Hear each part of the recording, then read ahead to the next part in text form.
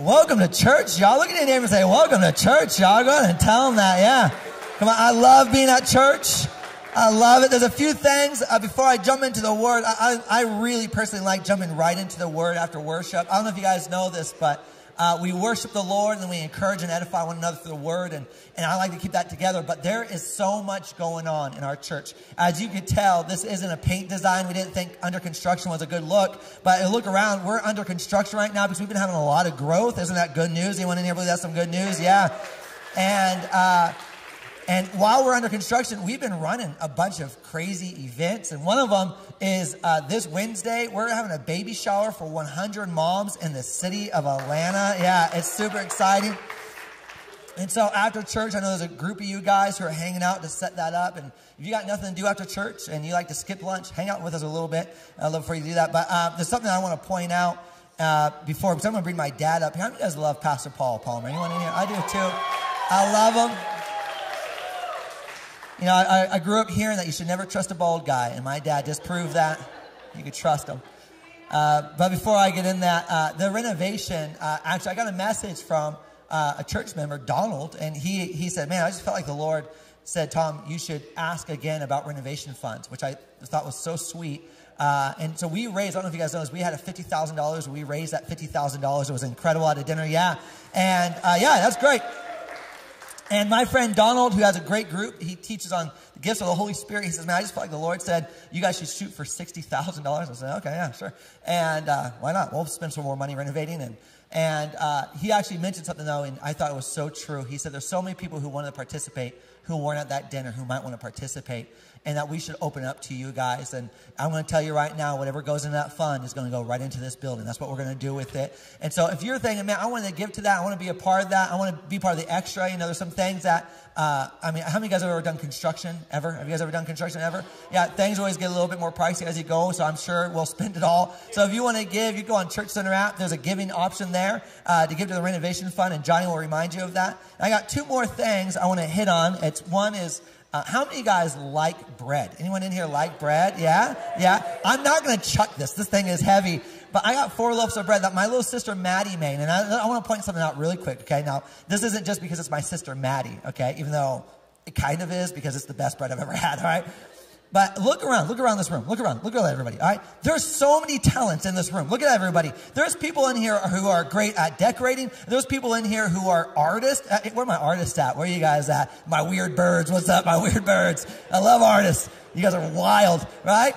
We got some hard working, who, where are my construction people at? Who could fix a wall? Where am I? Yeah, look at this. Look, there's all these things. And now this is what I know in the church. My sister Maddie, she, she's a killer mom. She's a killer wife but one of my favorite things she does is she makes delicious sourdough bread. All right. This is like some killer stuff. And I've got four loaves. I want to give it away. And what I want to encourage is that as a church, we start recognizing the gifts that are in this room and that we start saying, hey, you know what? I know someone who makes some killer bread. Let me, let me go to her instead of going to, how many guys would like to get some killer bread? Not from Kroger, but from Maddie. Anyone in here? So I got four loaves. Who can I give these to really quick? This is a, I don't want to throw it to you. You want me to throw it to you? Ah, here we go. Hey, okay. And who else? What's want right here? Right here? Over anyone else? Anyone else? Oh, look at that, David, right there. Thank you, David. Boom. Oh, almost killed someone. Yeah. Yeah, take it to the newcomer. Oh my gosh, it's still warm. oh, oh. It's still warm. hey, Macy, here you go. I want you to take this right here. Yeah. Yeah, hey, all right, so check this out. Check this out. You never thought in a million years that you go to church and you had bread thrown at you, did you? That was tight. Maddie, that's your bag. Sorry. Hey, so check this out. What we're going to do now, I'm going to make this clear. Um, I'm not going to do this every week that we're going to have Maddie make bread. I'm not going to make her a laborer and start up her own store here. But how many guys would like once a month that there's an option that you could purchase some bread from her, and so you could, you could bless her for all the great work? How many guys would love that? And how many guys in his house know that you probably make bread too, and you could bring it and other things? Wouldn't that be sick? I would love to start seeing more of that. Now, listen, I don't have a plan for that. I just know in my heart, I'm going, look around this place. There is people with talent. And as believers, don't you know that we should come together, one another, and let's be real, not try to get the best deal from one another, but we should bless one another and their stuff, right? Hire them at full price, pay for the bread. You know what I'm saying? Like really bless them. And not just try to get good deals. Amen? Anyone else in here on that? Yeah? Okay. Okay. like, dang, I was hoping for a good deal. I got one more thing we want to talk about because May is going to be a crazy month. All right, May is going to be a crazy month. So I need my dad, Pastor Paul, to come up here really quick. Come here, my dad, my favorite dad in the whole wide world.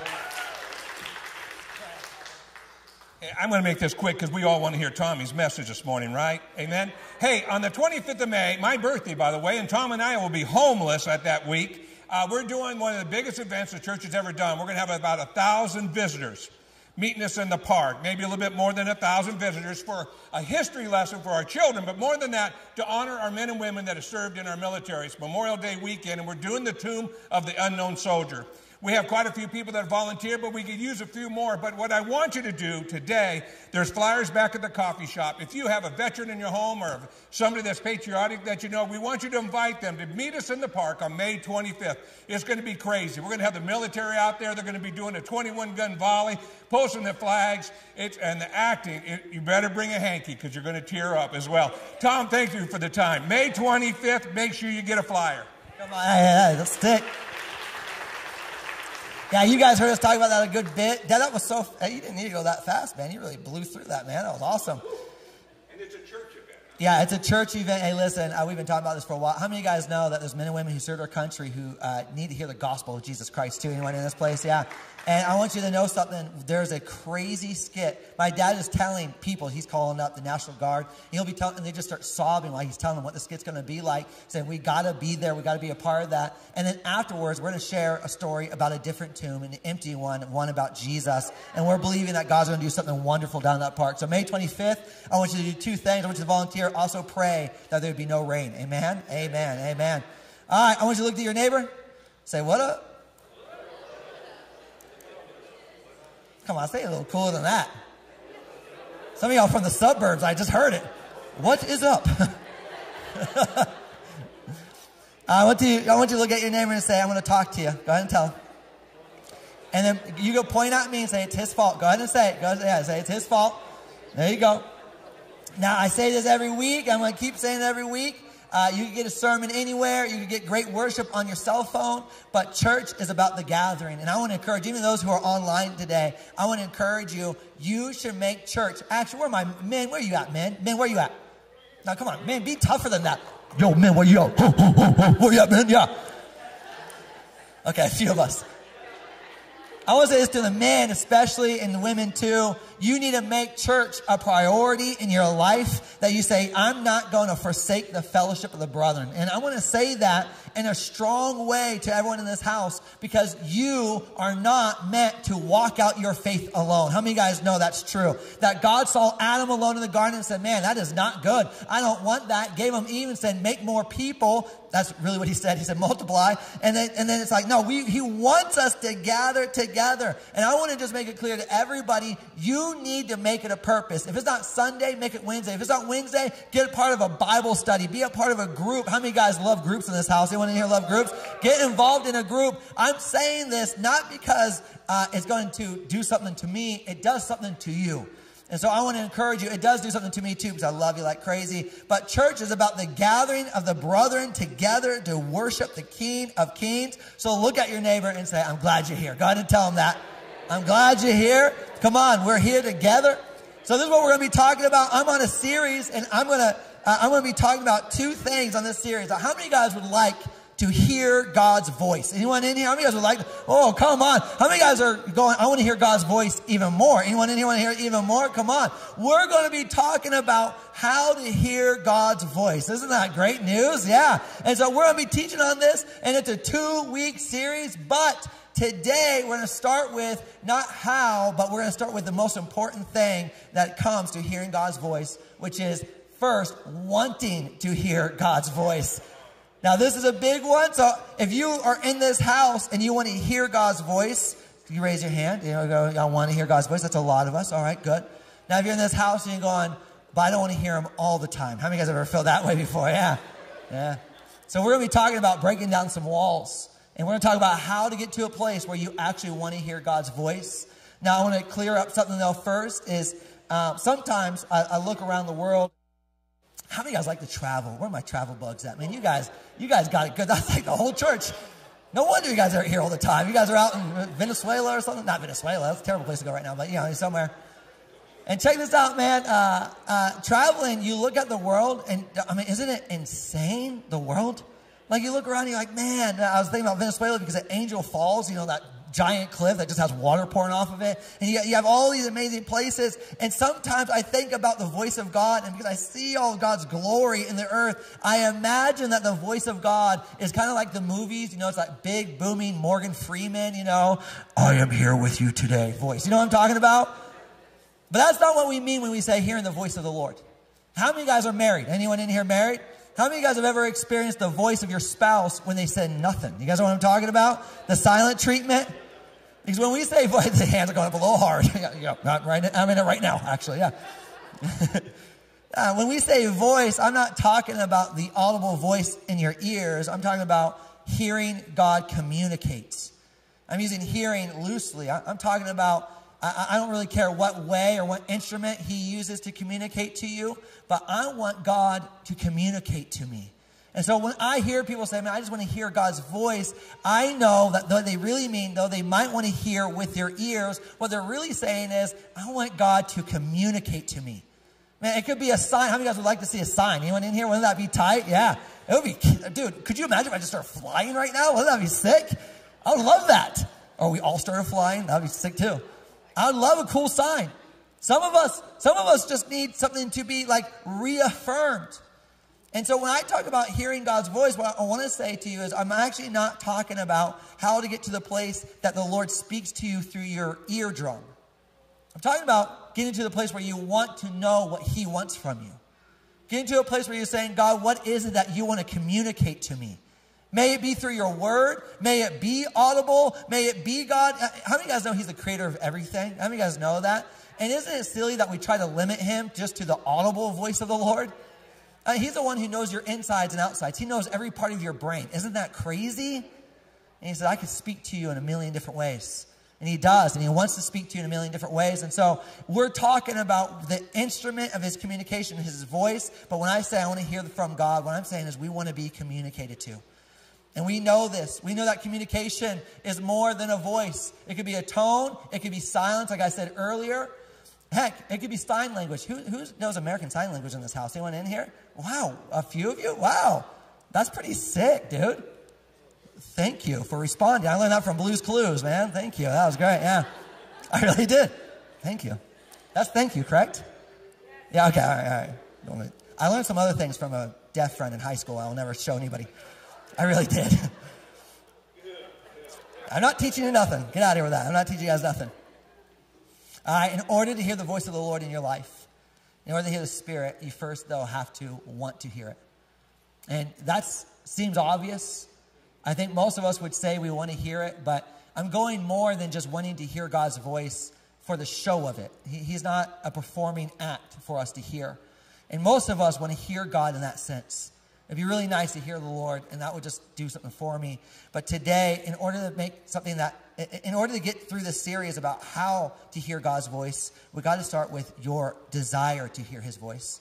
And so, in order to have a desire to hear the Lord's voice, the number one thing that you have to do, if you're taking notes, I want you to write this down. The number one thing you have to do if you want to hear the Lord's voice is to trust. Everyone say trust. Come on, that was weak. Everyone say trust again. There you go. Who did that again? I love that. Good job. I thought you so. I was setting you up for that. Thank you. Man, have you guys ever? Uh, uh, I want to say this before I go down the trust thing. I want you to know the Lord speaks a lot. He is speaking all the time. The Spirit is leading all the time. He is communicating all the time. And most of our problem is not God's not speaking to us. Most of our problem is that we don't hear Him. And, and when I talk about trust, I, I want to tell you this story about a guy who spoke to me, but I didn't hear a word he said. Uh, me and my wife were engaged, and uh, we got into a car fight. Have you guys ever been in a car fight? Yeah, car fights are great. Uh, they're dangerous, you know. And uh, we got in a car fight, and I don't know where we were driving to, but we were way out of the city. We drove about 20 minutes, and she pulled off the exit. I think we are going to see a movie, uh, if I remember right. And we were fighting about something. I don't know what it was about. And uh, whatever it was, it was I didn't want to do something that she wanted to do. I guarantee that was the fight. And we got there and we stopped at the red light, and I was being a little dramatic, and I got out of the car, I slammed the door, and I walked off. Now, in my head, I thought, she'll come and get me. that girl whipped the car around and took off. She really did. And, and so she took off, and I was stranded. I don't know where I was. And on the side of the road, you know, we just got the freeway on the, on the on ramp or the exit ramp. I'm just standing there. I'm thinking, oh, shoot, what am I going to do? My plan didn't work. And so I walked and I sat there. I thought, surely she's going to come back. And uh, she didn't. 45 minutes went by and I was just chilling. And so, and so what I did, this is a true story. Uh, this is the last time I got out of the car, I think, actually. Is that, yeah, I think it was the last time I got out of the car. She won that fight. And so I was too embarrassed to make any phone calls to people. You know, I don't want to call them like, hey, will you come pick me up? Uh, you know. And so I hitchhiked. I hitchhiked. Have you guys ever hitchhiked before? Yeah. Yeah, it's kind of a fun thing to do. If you haven't done it, uh, I'm not going to recommend it, I guess, but it's kind of fun if you're up for the risk. And so I, I started walking down onto the freeway and started hitchhiking, and this guy in a Mercedes coupe was pulled over and he was doing something. So I ran up on him, which was scary for him, I'm sure. And uh, I did. I just zero idea what I was doing. I like, hey man, and grabbed him. I was like, hey dude, you know, kind of backed up. I don't have any money. I'm like, no, no, no, I need a ride. And uh, and I was like, can you? Uh, where are you going? I didn't get down to the city. He's like, uh, okay, I guess. So I jump in the car with him. He's like, man, why are you hitchhiking? So I tell him. Now I don't know this guy from Adam. I don't trust this guy with a lick. All right, I don't know. I don't give. I'm not going to take any of his advice. I'm still steaming that Susie left me. That's all I'm thinking about. And I'm thinking in my head, those are, I'm going to have to get her back somehow. I don't know what I'm going to do, but I'm going to get her back somehow. I don't, know, I don't know, steal her credit card and not tell her where it's at. No, I'm just going to never do that. Actually, probably should have. She had way more money than I did back then, so I probably should have, but whatever. And we're driving, so I tell him, my fiance, you know, I got out of the car and she left me out here on the streets. And he starts telling me all this advice. Have you guys ever got unsolicited advice before? Yeah, yeah. And when you don't trust the person, what happens? That advice goes through one ear and out the other. And he was telling me something. I don't know. He was talking the whole time after I told him. All I really remember is at the very end, before I got out of the car, he just said, I don't know, man. I don't know. That's all he said to me at the end. Thanks, man. so I got up on North Avenue and I walked three miles to get back to my where I lived. And I sat there and I remember thinking, that guy said so much to me, and I couldn't hear a word, and I know why. Because I couldn't trust that guy worth a lick.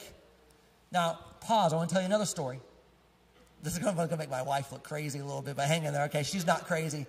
I am known for being late. And so me and her, uh, she needed a ride to this thing, a job interview. And I'm like, yeah, I'll take you. I promise you, I'll be on time. And I took off uh, 10 minutes before I was supposed to take her. And I drove a homeless guy around for a little bit. And I came back? That's literally what I did. And I came back and I got back uh, one minute early. But that wasn't the point. How many of you guys know most fights are about the principle, not what happened? You guys know what I'm talking about?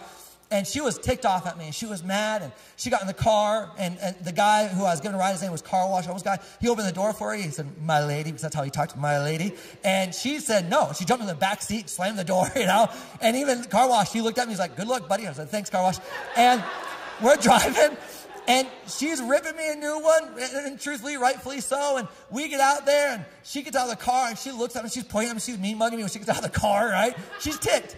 So I come home back to the house. My mom's there. I, I, walk in and I said, I think, I think I'm going to marry a crazy. I think she's crazy. That's what I told my, that's what I told my mom. And is what my mom did. She laughed. Now that's not what I want to hear from my mom. I want to say, son, you're right, my poor baby, and you know, coddle me. She said, uh, all women are. And she laughed. and I remember hearing my mom say that, and something just shifted inside of me, like, oh, I guess I do love her still. You know, I don't know what happened. And I tell you that weird story, or those two stories together, because there was a difference in each of the stories. Some guy I didn't know, I didn't trust worth a lick. He might have been giving me killer advice. I have no idea. I didn't care. Because you don't listen to people you don't trust. You don't listen to people you don't trust. That's, that's just how it is. It doesn't matter how good it is. It doesn't matter how great it is that they're telling you. If you don't trust them, you don't listen to them. But when you trust them, everything they say matters to you. Can I tell you something about the voice of the Lord? I want you, have, if you have your Bibles, I want you to open up to 1 Kings, all right? 1 Kings chapter 19. I'm going to read you something. But there's this guy, Elijah, who seriously trusted the Lord more than he even saw in his circumstances. He said, God, I trust your ways. I trust you. In other words, I can lean on you. When you speak to me, no matter what you say to me, I can bet my bottom dollar on it. It's going to be good. I trust you. And it's not just trust you with my emotions, I trust you with my life. I want to say this about God's voice in your life. The place that you trust Him the most is where you'll hear Him the most. The place that you do not trust Him, you will not, you will not care what He says to you. It's true. First Kings chapter 19, the backstory is Elijah just killed a bunch of prophets of Baal. Right? He's, he just killed all these false prophets. He just killed a bunch of them. And then Jezebel, the queen, uh, uh, uh, Ahab's wife, said, You know what? I'm going to kill him. Let's kill this Elijah. So his circumstances, rightfully so, are scary. And it says Elijah runs away in, in, chapter 19. He runs away and he goes and falls down and he cries. Says, you know, why is this so hard in life, right? And then he, he's sitting there and the Lord feeds him and the Lord speaks to him and he does this thing. The Lord, actually, it's a great story. If you haven't read 1 Kings 19, I want you to read it. It's a great way to see how the Lord speaks to people. But verse 14, Elijah says to God, because God had asked him in the verse before, Elijah, what are you doing out here? And Elijah says, I've been very zealous for the Lord of hosts, because the children of Israel have forsaken your covenant, tore down your altars, and killed your prophets with the sword. I alone am left, and they seek to take my life. How many of you guys have ever been in a bad circumstance? Anyone in here? Anyone in here been in a bad circumstance? How many of you guys have been in a place where, you know, someone says, why don't you go back to that situation? And you're going, absolutely not going back to that situation. I, have seen that. I, have heard people say that. I, have heard abusive relationships. People say, well, go home tonight. And it's like, I can't go home tonight. They're going to beat me. I, I'm not going to trust that. My circumstances are way, way more trustworthy than what you're giving me advice on. I trust that if I go back, I'm going to get hurt. I trust that in my own judgment that this isn't going to work out. But Elijah is a man that trusts the Lord. And we see that all through his stories. And this is what the Lord says to him. The Lord says, Go, return on your way to the wilderness of Damascus, and when you arrive, anoint Hazael the king over Syria. And the story goes on. And this is what he tells Elijah Go back. Now, how many of you guys have ever been in a tough time and God tells you, hey, go back to the tough time right after you got out of it? Have you ever had that before? That's crazy talk. You know what I love about Elijah? He was able to hear the Lord and circumstances that he didn't agree with. Oh, I don't like this idea. But because I trust you, God, I will give you my ears. Because I know your ways are better than mine, I'm going to give you my ears. Listen, you will never want to hear from the Lord as long as you don't trust him. Actually, let me rephrase that. You'll never want to hear from the Lord as long as you trust yourself more than you trust him. You, guys say it again?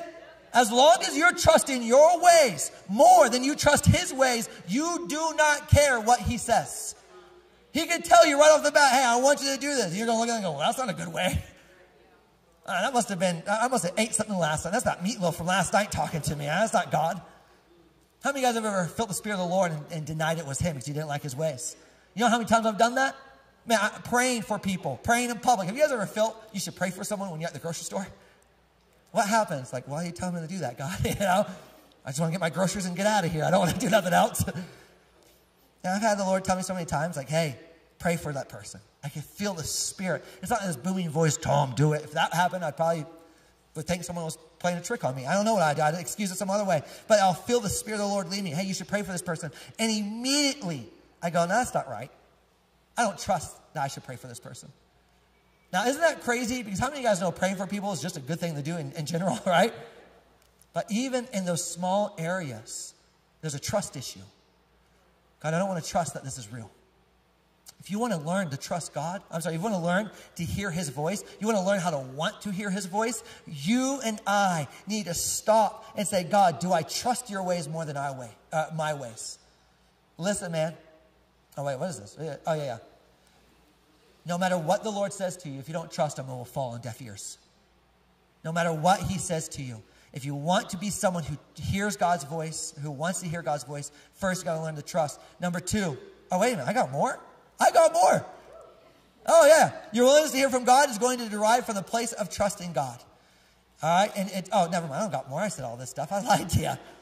Look to your neighbor and say, ignore that part. Go ahead and tell him that right now. Yeah.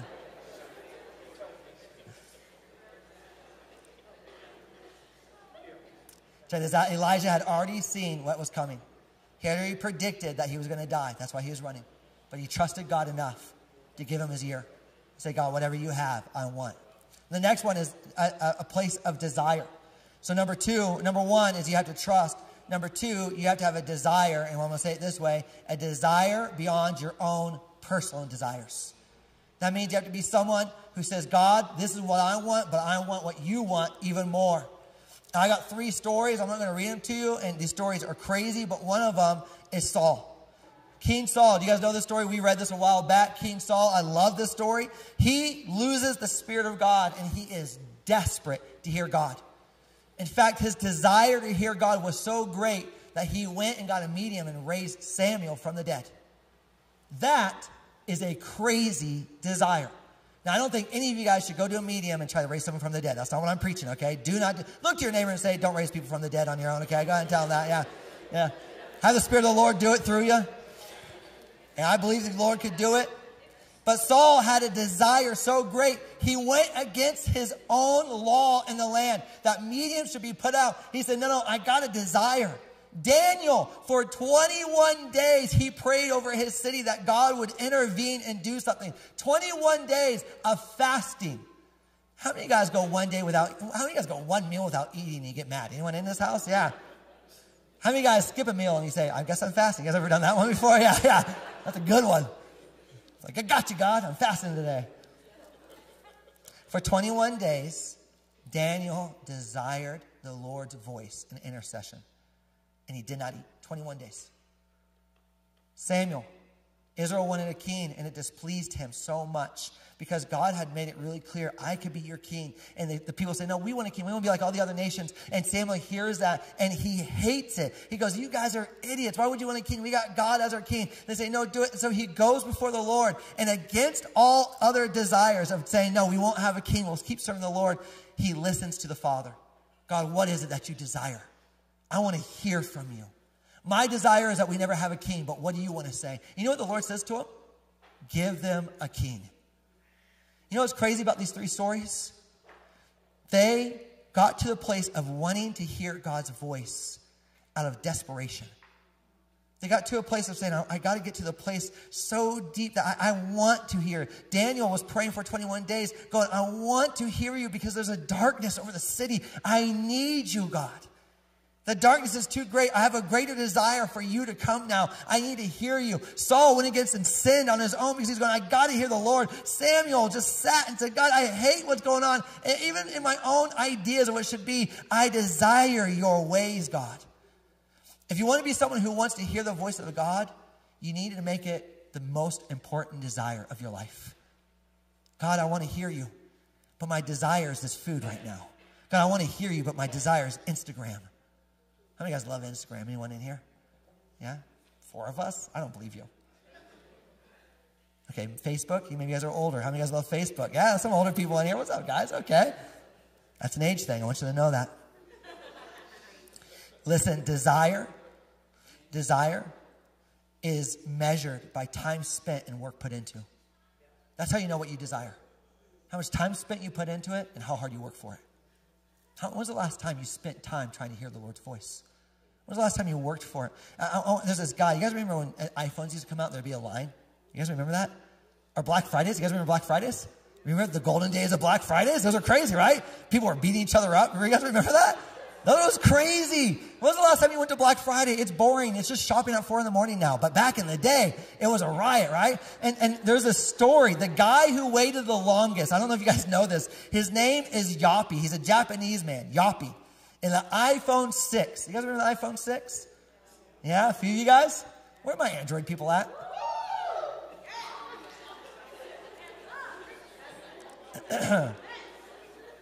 yeah, okay. This is what the Android people talk about us being cultish. Yappy reported to wait in line for seven months to get the iPhone 6. It's a record. This is back in 2014. He started lining up outside the Apple store in Tokyo in January of 2014, long before the official announcement of the phone came out. That's crazy. The phone didn't come out until September of that same year. That is a man who had desire. I'm going to put in the work. I'm going to put in the effort. You know, I brought up Daniel 21 days of not eating. This guy was, I'm going to say stupid. Can I say yappy if you're watching? I'm sorry. But, you like, that's crazy. You know, that's crazy. Now, I, I want to say this. Uh, it, reportedly, it wasn't about the phone. He was actually doing it as a publicity stunt to get people to go to his blog.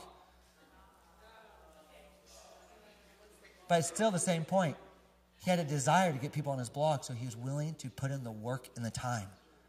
He said, This is my desire. I'm going to I'm going to put everything towards this. This is more important than anything else in my life. We're talking about how do you become someone who wants to hear the voice of the Lord? And using the word desire is almost like, well, you're just saying the same thing over. But what I'm trying to point out is you have so many different desires in your life that are fighting for your attention. You have so many desires, there's so many different wants in your life. And if you want to be someone who wants to hear the voice of the Lord, you got to start neglecting your other desires.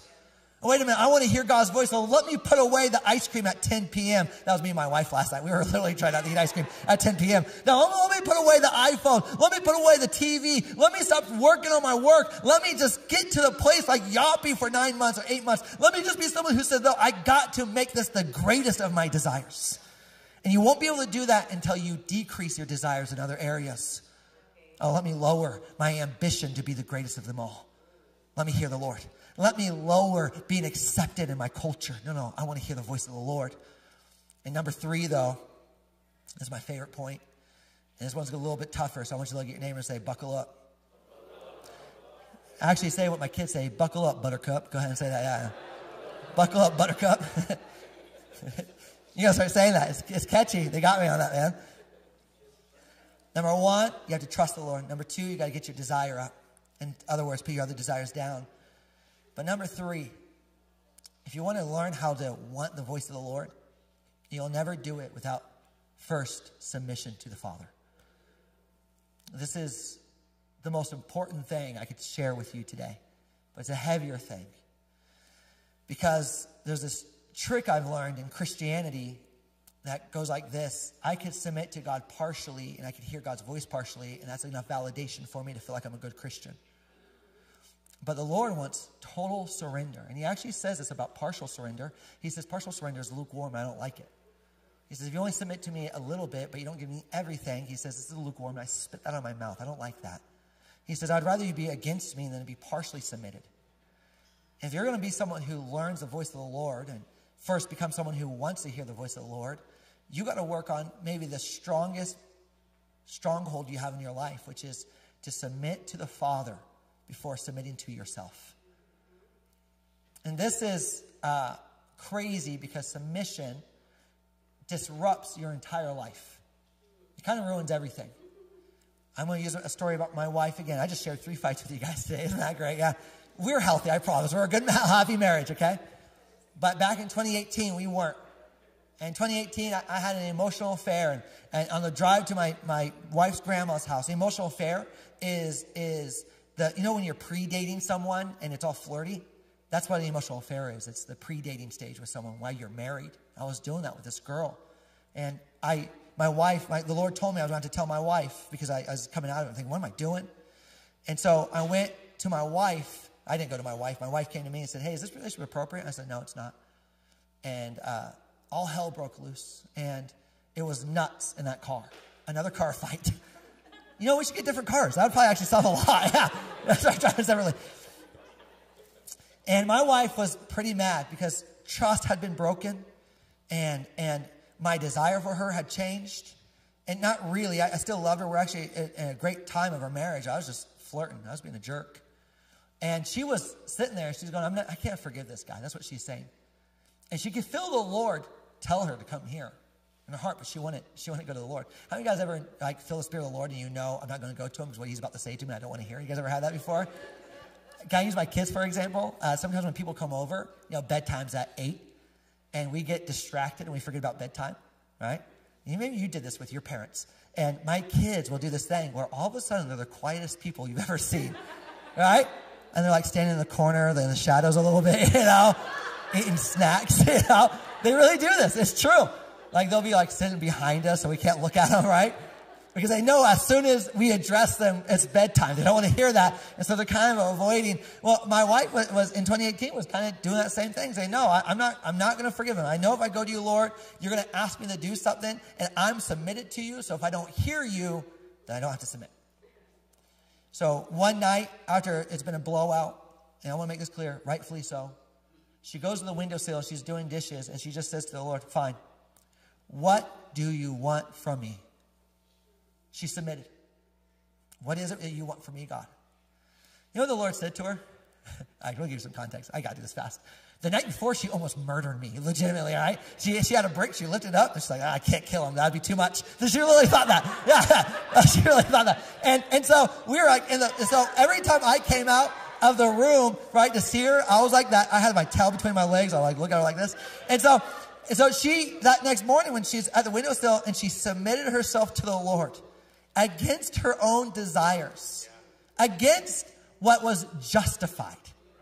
She said, Okay, God, it's not what I think is better. I'm going to submit to you. What do you want? And the Lord said a bunch of stuff, but mainly, you're going to forgive him and you're going to sit under him as a pastor because I wasn't pastoring yet. She said, I'm never going to sit under you as a pastor. You won't be my pastor. And the Lord said, and you're going to sit up front. She had never sat up front. She's up front every week now. I just want you to know that. Yeah, seriously. And so she looked at me and she winked at me. You know how confusing that was? She was in silence. it was like psychological warfare. You know, girl went crazy. I mean, I'm thinking, you know, last night was a break, and then she smiles and winks at me. I'm like, no, no, you know. But let me tell you why that story is important. It wasn't until she submitted to the Father could she hear the Father. She avoided everything that she would hear from the, the, Lord. She said, I don't want to hear from you. But it wasn't until she submitted. There's a scripture in Acts chapter 16. It's Paul. He says, Man, he, he was going through the region of Galatia, and they were forbidden by the Holy Spirit to preach the word in Asia. They wanted to go to Asia. Paul writes in letters, I'm dying to go to Asia. But it says the Holy Spirit wouldn't let him. Now that doesn't that doesn't imply that the Spirit of God like force filled him and he couldn't go. No, he was saying, "Don't go, don't go." And Paul was forbidden in submission. He says, "I'm submitted to you." And after that, the Lord opened up and said, "This is where I want you to go." And He sends him out to this other place, Malaysia or something like that. And He sends him out, but he was submitted. He said, "God, I don't care what you say. Whatever it is, I'm going to do it." Submission. I read this book, man. It's called Hearing God. I'm going to land on this. This is my ending right here. And, and, and this, this, this is the reason why submission is the biggest part of hearing or wanting to hear God's voice. Becoming someone who desperately wants his voice first has to have submission is, is, is, is, is that his word, when he speaks, it's disturbing. When God speaks to you, it's going to disturb your life. It disturbed my wife's life. She had plans. And if you're going to have someone speak to you and you want to hear it, you have to first say, I'm okay with you screwing me up right now. I got plans, but I'm okay with you taking over. And I read this book, Hearing God by Dallas Willard, and he's talking to Christians who have never heard from God.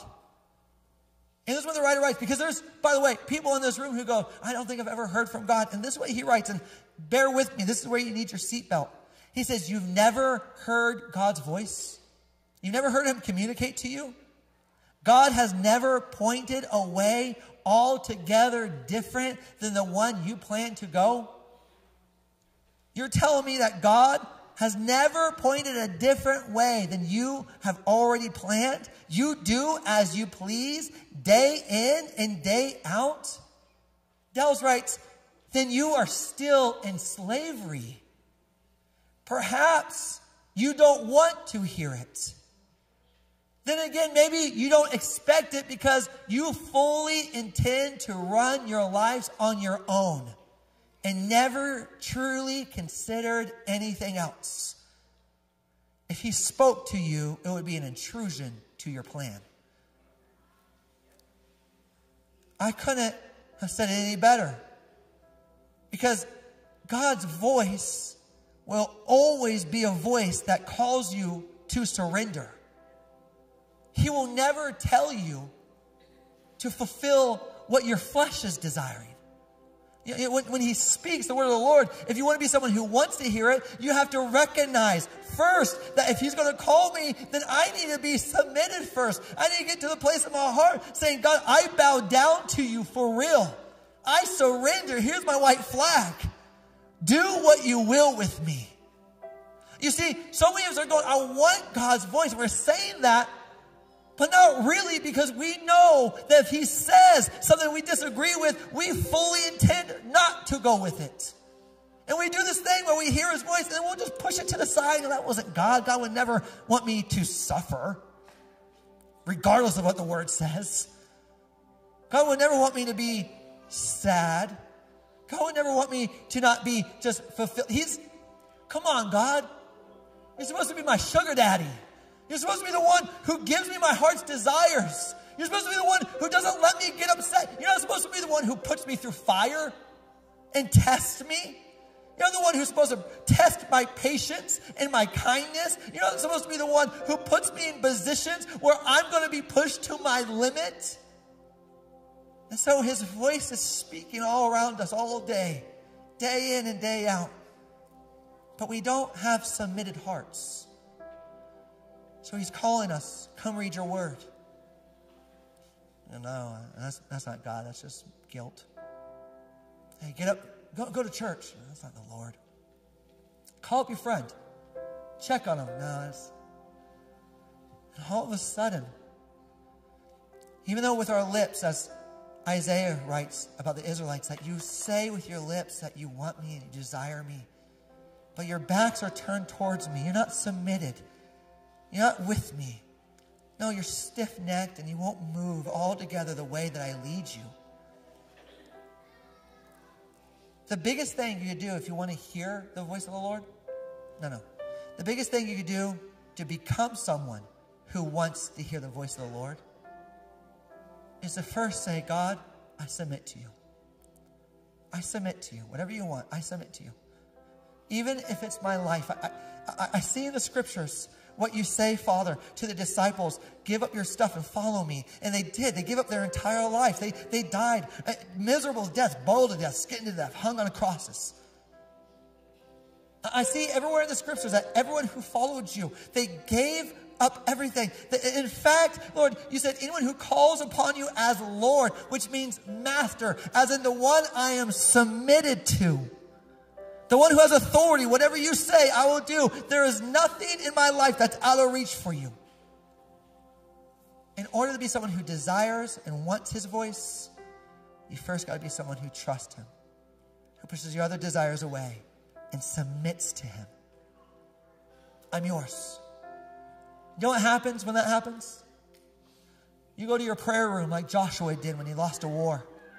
He gets before him and he will stay there all night because his desire is so great, he'll put time and effort into it. He'll stay there till evening crying out to the Lord, I need to hear your voice. What am I supposed to do? You'll go like Daniel on his face, 21 days. God, I got to have you. I trust your ways, your ways above everybody else's. I need you. You'll, you'll become like all the greats in the Bible, even the disciples where they're having a hard time going, man, I don't know what the Lord does. Let's just sit and wait. I trust his ways. And whatever he says, I will do. In every one of those stories, they heard the voice of the Lord. Every one of those stories, they heard his voice.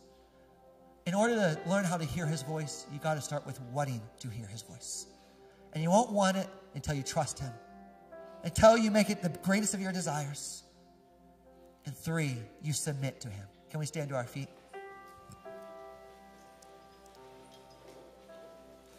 Can you close your eyes? I just want to pray over us in this house. I believe it's always important to bring a time of response to the sermon.